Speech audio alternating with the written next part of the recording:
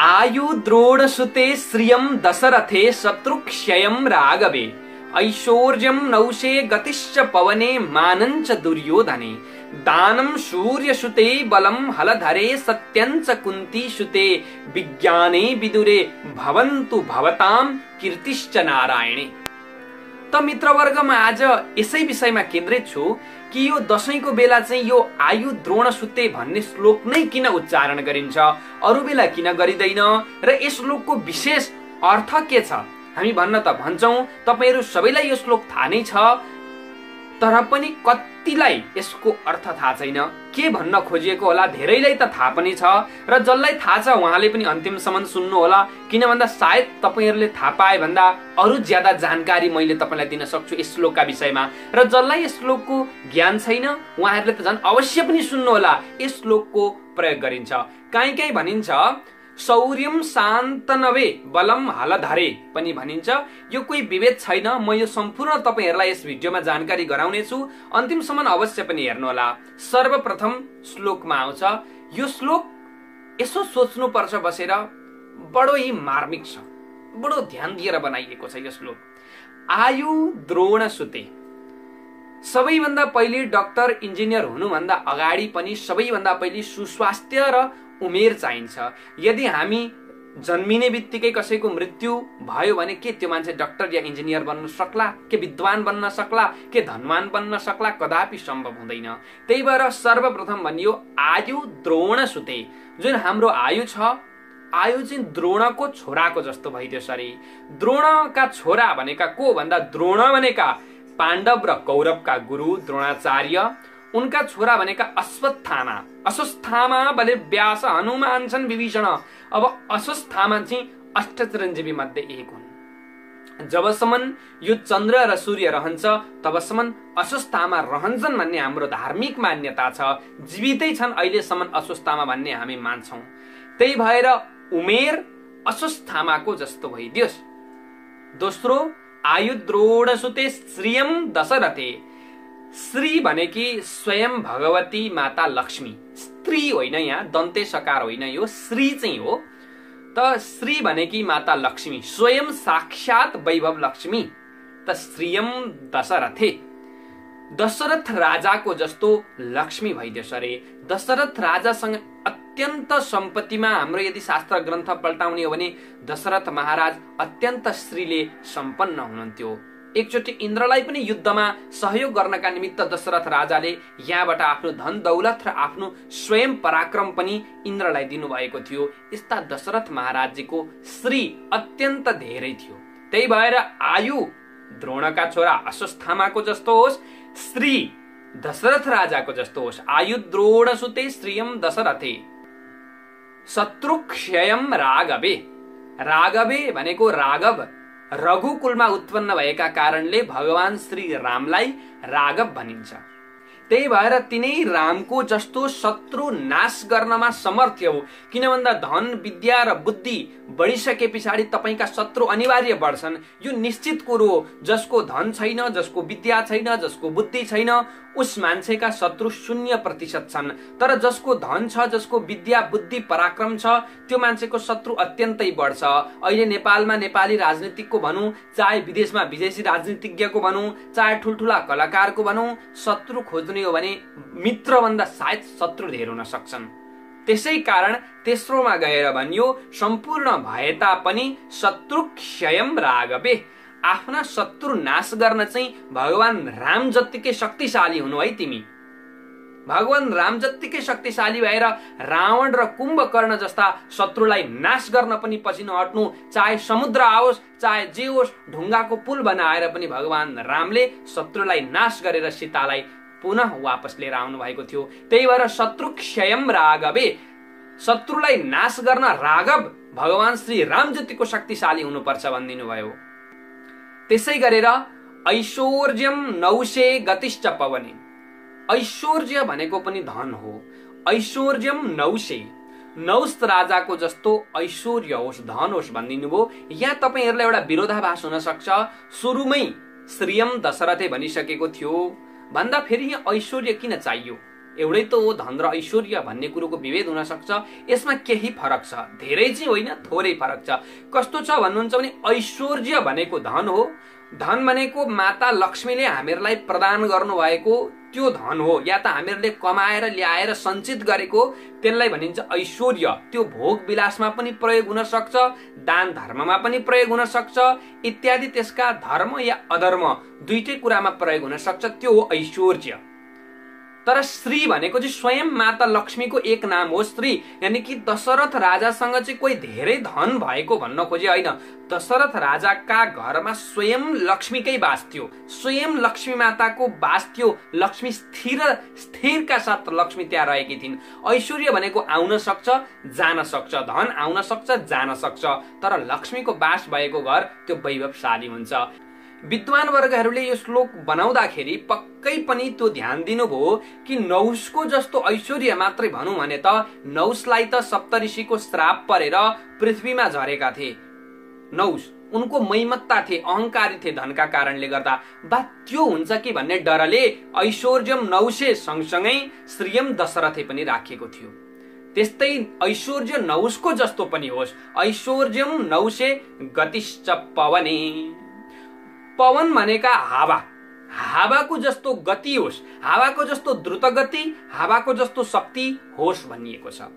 अब यदि अहिलेको युगमा विचार गर्ने हो भने गतिमै मात्र विचार गर्ने हो भने सबैभन्दा तेजिलो गति मानिन्छ लाइटको किरणको सूर्यको किरण पृथ्वीमा आइपुग्न आठ पोइन्ट बिस सेकेन्ड लगभग लाग्छ। त सबैभन्दा छिटो गति लाइटको हो। तर सूर्यको जस्तो या त प्रकाशको जस्तो गति होस् भनिएन यहाँ। किन भन्दाखेरि गतिश्च पवने हावाको जस्तो गति होस् भनियो। किन भन्दाखेरि सूर्यको जस्तो किरणको गति हामीहरूलाई आवश्यक छैन। त्यतिको स्पिड गतिमा आजसम्म कुनै यन्त्र पनि बनिएका छैनन् र बनिन सम्भव पनि छैनन् किरणको जस्तो गति। त्यो कसै संसारमै काहीँ छैन किरणको जस्तो गतिको। विज्ञान वैज्ञानिकहरू पनि भन्नुहुन्छ त्यो गतिमा कुनै यन्त्र बनाउन सकिँदैन। तर हावाका गतिमा यन्त्रहरू बनिए जेट इन्जिनहरू बनिए वायुको जस्तो गति हामीहरूलाई अत्यन्त आवश्यक गति भनेको अल्छ्याइ नलिनु अल्छ्याइ भएर चुप लागेर बस्नु होइन ढिलो या सुस्त काम गर्नु होइन केही द्रुत केही छिटो गर्ने तिमीमा क्षमता आओस् र हावाको जस्तो शक्ति भनेको जब स्ट्रोमहरू आउँछ ठुल्ठुलो बबन्डर आउँछ यिनीहरूले ठुला ठुला विशाल विशाल पर्वतलाई पनि उखाडेर फ्याँक्न सक्ने क्षमता वायुमा हुन्छ। तिनै वायुका छोरा हुन् पवन पुत्र हनुमान। हनुमानमा त्यत्रो शक्ति वायुबाट प्रदान भएको थियो। त्यही भएर वायुको शक्ति अत्यन्त धेरै छ। हामीहरूले त अहिले इयरबाट इलेक्ट्रिसिटी पनि निकालिरहेका छौँ। त्यही भएर वायु जस्तो गति भनियो। मानन्छ दुर्योधने। त्यस पछाडि दुर्योधन भनेका कौरव कौरवमा दुर्योधनको धेरै मान्यता थियो। त्यतिखेर महाभारतकालीन समयमा दुर्योधनलाई धेरैले मान्थे। वीर थिए पराक्रमी थिए भीमसेन जस्तासँग युद्ध गर्न तत्पर थिए बलरामजीका जस्ता चेला र एकचोटि उनलाई अश्वमेध यज्ञ गर्दाखेरि भणारे पनि बनाइएको थियो दुर्योधनलाई। उनले त्यतिखेर खुब धन लुटाएका थिए आफ्ना प्रजालाई र उनको डरले गर्दा पनि उनलाई मान्छेले मान्थे। उनको एउटा क्षमता थियो उनको अगाडि मान्छे जे पायो त्यही जस्तो मन लाग्यो त्यस्तै जिस्किन रेला गर्न इत्रिन सक्दैनथे। अत्यन्त मान्थे दुर्योधन अत्यन्त साहसी अत्यन्त क्रूर यो स्वभावको दुर्योधनको थियो तर पनि उसको मान सबैले गर्दथे सबैले राख्दथे उसलाई मान। त्यही भएर दुर्योधनको अरू बानी चाहिँ होइन जसरी दुर्योधनले मान मनितो पाएको थियो त्यस्तै तिमीले पनि मान र मनितो पाउनु है भन्ने खालको प्रसङ्ग यो हो। मानन्छ दुर्योधने अब दानम सूर्य सुते यहाँ कसै कसैले शौर्यम शान्त नभे पनि भन्नुहुन्छ कसैले दानम सूर्य सुते पनि भन्नुहुन्छ। यी दुइटै कुरा गलत छैनन् तर मेरो व्यक्तिगत भावनाले भन्नु पर्दाखेरि म चाहिँ दानम सूर्य सुते नै भन्छु। म अन्तिममा पनि भनौँला यस विषयमा अहिले अर्थ मात्रै ल्याउँदैछौँ दानम सूर्य सुते। दान गर्नमा सूर्यको छोरा जस्तो हुनु अरे। सूर्यको छोरा भनेको को? कर्ण। महारथी कर्ण। कसै कसैले अर्धरथी भन्छन् तर मेरा नजरमा त म महारथी नै देख्छु कर्णलाई। किनभने अत्यन्त श्रापका कारण हरेकतिरबाट उसलाई श्राप परेको गुरुको श्राप गाईको श्राप अनेकतिरको श्रापले गर्दा उसले युद्ध भने जस्तो गर्न सकेन। तर अर्जुनलाई टक्कर दिन शक्तिशाली थिए भने एकजना थिए कर्ण। ती थिए अत्यन्त महारथी त यी जस्ता दानी हुनु अरे। कर्णले कोही आफ्नो धन या आफ्नो बलि महाराजको पनि नाम आउँछ दानमा तर बलिभन्दा पनि अगाडि कर्णको नाम किन आउँछ? भन्दा बलिले त भगवानका निमित्त समर्पण गरेका थिए मोक्ष पाएका थिए। तर कर्णले सूर्यबाट पाएको जुन कवच र कुण्डल थियो त्यो कवच र कुण्डल हुन्जेल उनको मृत्यु सम्भव थिएन। त्यो उनले इन्द्रलाई दान गरिदिएका थिए। यी इन्द्र हुन् भन्ने थाहा पाइ पाइ पनि बाहुनको भेषमा इन्द्रले माग्न आउँदा इन्द्र त महा छलिया छन्। तपाईँहरूलाई थाहा नै छ इन्द्रले माग्न आउँदाखेरि त्यो दान गरिदिएका थिए। त त्यसै कारण दानम सूर्य सुते। कर्णको जस्तो दान गर्न पनि शक्तिशाली हुनुपर्छ। किन भन्दा धन मात्रै बटुलेर ऐश्वर्य मात्रै बटुलेर मान मात्रै कमाएर इज्जत मात्रै कमाएर पनि हुँदैन। आफूले ल्याएको धनलाई दस प्रतिशत त दान गर्नै पर्छ भनिएको छ। नर्मल साधारण व्यक्तिले पनि हामी जस्ता व्यक्तिले पनि दस पर्सेन्ट दान गरेर मात्रै त्यो दान कोही बाहुनलाई या कोही पण्डितलाई या मन्दिरलाई यस्तो अर्थमा नलानु होला गुरुले आफ्नो फाइदाका लागि दान गर्नु भन्दै हुनुहुन्छ भन्ने अनर्थ अर्थ नलगाउनु होला त्यो दान भनेको तपाईँले गरिबलाई गराउन सक्नुहुन्छ कोही जनावरलाई लगेर खुवाउन सक्नुहुन्छ। त्यो तपाईँको इच्छाको कुरो हो तर तपाईँले कमाएको दस प्रतिशत चाहिँ अनिवार्य पनि खर्च गर्नुपर्छ पुण्य कर्मको लागि। यो दान शब्द भन्दा पनि अहिलेको एक्काइसौँ शताब्दीमा म पुण्य कर्ममा लान चाहन्छु किन भन्दा दान अर्थले धेरैतिर अनर्थ निम्त्याइरहेको छ। न गुरु न जजमान। त्यही भएर दान भन्दा पनि पुण्य कर्म दस प्रतिशत त लगाउनै पर्छ नर्मल साधारण व्यक्तिले पनि। तर कर्ण जस्ता व्यक्तिले आफ्नो जिन्दगी नै अर्पण गरेका थिए र त्यो दान गर्ने क्षमता पनि तिमीमा होस् है त्यस्तो दान गर्नुपर्ने अवस्था आयो भने पनि नडगमगाउनु भनेर आशीर्वाद दिएको छ यहाँ। दानम सूर्य सुते त्यही भएर म यहाँ अघि भन्दै थिएँ कसैले यहाँनिर सौर्यम शान्त नभे पनि भन्नुहुन्छ। त सौर्यम शान्त नभे दानम सूर्य सुते हटाएर सौर्यम शान्तनवे। राख्दा के फरक पर्छ भन्दा शान्तनवे भनेका सन्तनुका छोरा। शान्तनवे। सन्तनु भनेका यिनै कौरव र यिनै पाण्डवका बुढा हजुरबुवा। सन्तनु। सन्तनुका छोरा भीष्म पितामह जसको नाम देवव्रत थियो देवव्रतले आफ्नो बुवाले मन पराएकी केटी माग्न गएका थिए सिधै। माझीकी छोरी हुनुहुन्थ्यो ए माझी तपाईँकी पुत्री मेरो बुबालाई विवाह गर्नका निमित्त दिनु भन्न गएका थिए देवव्रत। ती माझीले त्यतिखेर भने दिन त म दिन्छु नि तर तिमी औ जेठा छोरा। तिमी जेठा छोरा आउने बित्तिकै राज्य त तिमीले गर्छौ। मेरी छोरीबाट जन्मेका सन्तानले त राज्य पाउँदैनन्। के गर्छौ त भन्दा भीष्म पितामले त्यतिखेर प्रतिज्ञा गर्नुभयो। त्यतिखेरसम्म उहाँको नाम भीष्म रहेको थिएन। देवव्रतै थियो। त ठिकै छ। म देवव्रत गङ्गाको छोरा गङ्गाको छोरा हुन् देवव्रत। गुरु परशुरामका शिष्य पनि हुनुहुन्छ। म देवव्रत परशुरामका शिष्य गङ्गाका छोरा म प्रतिज्ञा गर्छु म राज्य गर्दिन। भन्नुभयो। त्यतिले पनि तिमाजी मानेनन्। तिमीले त गर्दैनौ क्या अरे तिम्रा छोराछोरीले चाहिँ दावी गरे भने नि त जेठो सन्तान हो भनेर। छोराछोरीको त कसले भविष्यमा के जानेको छ र कसले ग्यारेन्टी लिन सक्छ र आफ्नै त लिन सकिँदैन उस्तै अवस्थामा छोराछोरीको कुरो कसले लिने? भीष्म पितामले भन्नुभयो ठिकै छ म छोराछोरीको विषयमा त केही भन्न सक्दिन तर एउटा विषयमा म खुल्ला छु।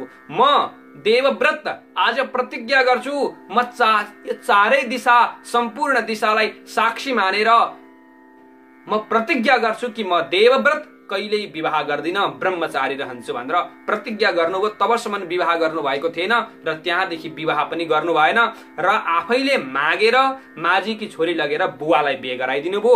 बुवाले तक्षण आशीर्वाद दिनुभयो तिमी जस्ता छोरा जोइतोइको जन्मिँदैन तिमीले भीष्म प्रतिज्ञा गरेका छौ त्यही भएर तिम्रो नाम भीष्म हुनेछ भनेर बुवाले आशीर्वाद दिनुभएको थियो। र कहिल्यै तिमीले नचाहन्जेल तिम्रो प्राण पनि नजाओस्। जब इच्छित मृत्यु तिमीले इच्छा जहिले गर्छौ तब तिम्रो मृत्यु होस् भनेर सन्तनुले आशीर्वाद दिनुभएको थियो भीष्म पितामहलाई। त्यही प्रसङ्गलाई लिएर यहाँनिर भनिन्छ सौर्यम शान्त नभे भनिन्छ। म यसको विपक्षमा गएको होइन यो श्लोक राख्नु या नराख्नु भन्न खोजे होइन तर दानम सूर्य सुते हटाएर यदि यो श्लोक राखिन्छ भने त्यति म सहमत भइन। तर दानम सूर्य सुतेसँगै यो यो सौर्यम शान्तनवेलाई पनि राखिन्छ भने त ठिकै छ नराम्रो कुरो छैन। किन भन्दाखेरि यो श्लोकमा काहीँ पनि फेरि दानको कुरो आउँदैन। दानम सूर्य सुते हटाउने बित्तिकै दानको कुरो काहीँ पनि आउँदैन। कतै मान्छेले गलत अर्थ लगाउन सक्छन्। सौर्यम शान्त नभएको चाहिँ मान्छेले पछि बुझ्दै गर घमण्ड र अहङ्कारको भावना आउन सक्छ। त्यही भएर सौर्यम शान्त नभए हुँदा हुँदै पनि दानम सूर्य सुते। नभए त फेरि दानको त प्रसङ्गै नआउने भयो कमाएको सम्पत्ति एकत्रित गए। दान भन्ने कुरो धनको मात्रै हुँदैन प्रेमको पनि हुन्छ। आत्मबलको पनि हुन्छ। सबै कुरोको दान अहङ्कारको पनि हुन्छ घमण्डको पनि हुन्छ। दान भनेको एक प्रकारको त्याग त हो। तपस्या हो नि दान भनेको। जो तैले दान र त्याग गर्न सक्छ अहङ्कार रिस घमण्डको त्याग गर्न सक्छ। त्यही भएर शौर्यम शान्त नभे। तपाईँहरू भन्नुहुन्छ भने सँगसँगै दानम सूर्य सुतेलाई पनि राख्नुहोला। यो अत्यन्त सार कुरो छ यसमा। अब बलम हलधरे बलम हलधरे भनेका हलधर भनेका भगवान श्री कृष्णका दाजु बलराम। बल चाहिँ कस्तो होस् त शक्ति चाहिँ? भन्दाखेरि बलरामको जस्तो शक्ति होस् भनिएको छ। बल बलाधिक्यात बलम विदु नाम राख्दाखेरि पनि यही कुरो गरिएको थियो। अत्यन्त धेरै बल भएका कारणले नाम त सङ्कर्षण हो उहाँको। वास्तवमा नाम सङ्कर्षण तर बलाधिक्यात बलम विदु। सङ्कर्षण भए तापनि यति बल छ यस बालकमा त्यही भएर यस बालकको नाम म बलराम राख्छु भनेर गर्गजीले नाम राख्नु भएको थियो। अत्यन्त धेरै बलवान। यति बलवान कि एकचोटि त जमुनालाई नै आफ्नो हलोले तानेर लिएर आउनु भएको थियो वृन्दावनमा भन्ने प्रसङ्ग छ। साथसाथै दिल्ली इन्द्रप्रस्थलाई आफ्नो हलोले चाहिँ गएर गङ्गाजीमा डुबाइदिन्छु भनेर तान्नु भएको थियो भन्ने प्रसङ्ग पनि आउँछ भागवतमा। त बलम हलधरे बल अत्यन्त होस् हलधारी बलरामको जस्तो। सत्यञ्च कुन्ती सुते कुन्तीका छोराको जस्तो सत्यता होस्। कुन्तीका छोरा भनेका को? युधिष्ठिर महाराज। युधिष्ठिर महाराज जिन्दगीभरि सत्य बोलेरै उहाँको देहान्त भयो। एक ठाउँ उहाँले झुट बोल्नुभयो। त्यो पनि भगवान कृष्णले ए बाबा बोल न बोल तिमीलाई पाप लाग्दैन। मेरो लागि भए पनि बोल। आदेश अर्थमा आदेश गर्नुभयो तिमीले बोल्नै पर्छ भनेर भन्दा पनि युधिष्ठिर महाराजले अलिकति त्यो झुटलाई बङ्ग्याएर भन्नुभयो अस्वस्थामा मरेको खबर त छ गुरु हात्ती हो या हो नरे मलाई थाहा छैन। अस्वस्थामा मर्न चाहिँ मरो तर हात्ती मरो कि मान्छे मरो मैले थाहा पाइनँ मेरा गुरु भनेर यति जिन्दगीमा युधिष्ठिर महाराजले अलिक घुमौरो रूपमा गुरुलाई ढाँट्नु भएको छ।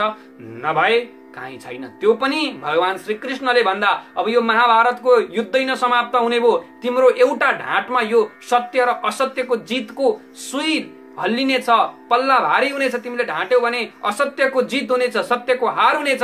त्यही भएर हे सत्यवादी युधिष्ठिर हे धर्मराज तिमीले आज बोल्नै पर्छ असत्य भनेर भगवान कृष्णले आदेश गर्दा त्यो पनि पुरा होइन थोरै घुमाएर असत्य बोल्नु भएको छ नभए त्यस्ता सत्यवादी हुनुहुन्थ्यो। त्यही भएर आज भनियो दा सत्यञ्च कुन्ती सुत्ते कुन्तीका छोरा जस्तो सत्यवादी हौ। चाहिएको ठाउँमा सत्यलाई जोगाउन एउटा असत्य बोल्दा पनि केही फरक पर्दैन पनि भन्न खोजेको हो यहाँनिर। सत्यवादीमा त्यस्तो हुनु पर्यो। सत्यञ्च कुन्ती सुत्ते विज्ञाने विदुरे। ज्ञानमा विदुर जस्तो हुनु पर्यो अरे। विज्ञानमा। विज्ञान भनेको ज्ञानको पराकाष्ठा विको उपसर्ग।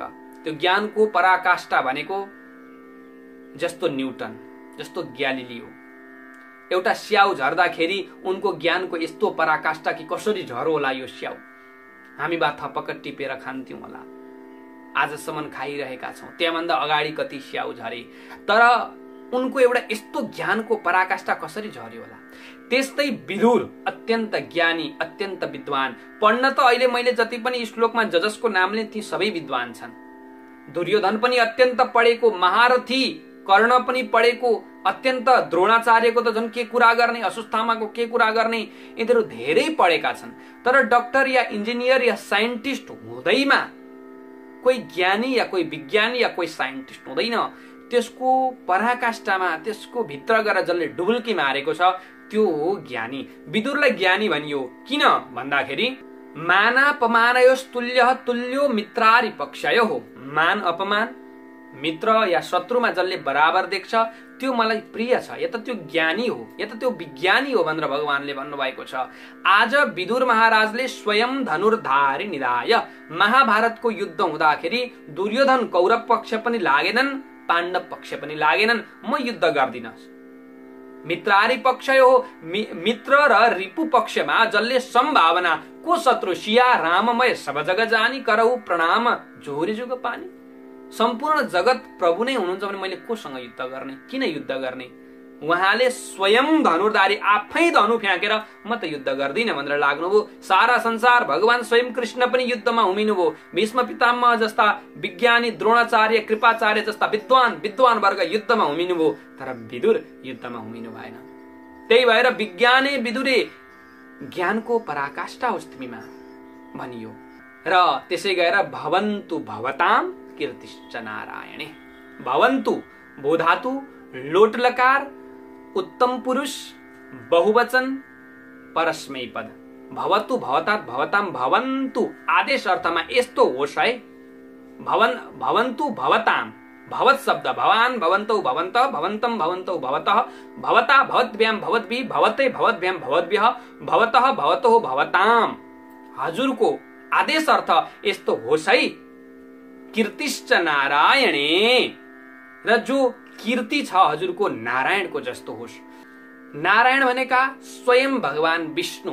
विष्णुको जस्तो कीर्ति होस् अरे कीर्ति भनेको चाहिँ के भन्नुहुन्छ भने अहिले मैले यहाँ जतिको नाम लिएँ कोही केही कुरामा बाठा कोही कुनै कुरामा विद्वान तर जो जति नै विद्वान भए पनि भगवान नारायणलाई त जम्मैले जान्नुहुन्छ। कसैले अस्वस्थामालाई चिन्नुहुन्न थियो होला या कसैले कसलाई चिन्नुहुन्न थियो होला तर भगवान नारायणको कीर्ति अठारै पुराण चारै वेदमा उहाँका कीर्ति भरिपूर्ण छन्। उहाँका नाम चारैतिर गुन्जयमान छन्। जलचर थलचर ग्रह गण तारा सूर्य लगायत सुरमुनि सारा। यो सम्पूर्णमा भगवान नारायणको नाम बराबर कहिएको छ। त्यही भएर नाम चाहिँ कस्तो फिजियोस् त भन्दाखेरि कीर्तिश्च नारायणे। भगवान नारायणको जस्तो नाम होस् भनेर यहाँ कहिएको छ यो अत्यन्त सार कुरो छ यहाँ यो अत्यन्त विद्वान वर्गले यो लेखिएको कुरो छ यो अत्यन्तै विचारणीय कुरो छ र यति जानिसकेपछि तपाईँहरूलाई पनि पक्कै मुन पर्यो होला र छोरी मान्छेलाई जयन्ती मङ्गला हुन त।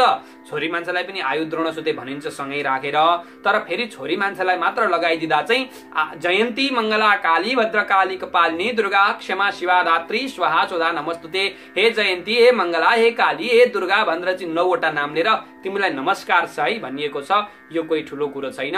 यो अत्यन्तै आज मैले प्रसङ्गवश तपाईँहरूलाई सुनाए। आफ्नो अमूल्य सुझाव प्रतिक्रिया मलाई दिन सक्नुहुनेछ। हजुरका केही प्रश्न छन् भने अवश्य कमेन्ट मार्फत राख्न सक्नुहुनेछ। र म सकेसम्म शास्त्र सम्मत तपाईँहरूलाई त्यसका उत्तर पनि फर्काउने प्रयास गर्नेछु। र यति भन्दै म पण्डित मोहनानन्द घिमिरे आजको बसाइबाट विदा माग्न चाहन्छु। विदा माग्नु अघि यस बडा दसैँ विजया दशमीको तपाईँहरूलाई लाखौं लाख शुभकामना छ। यति भन्दै म पण्डित मोहनानन्द घिमिरे आजको बसाइबाट विदा माग्न चाहन्छु। पशुपतिनाथले सबैको कल्याण गरून्। जय नेपाल जय जननी।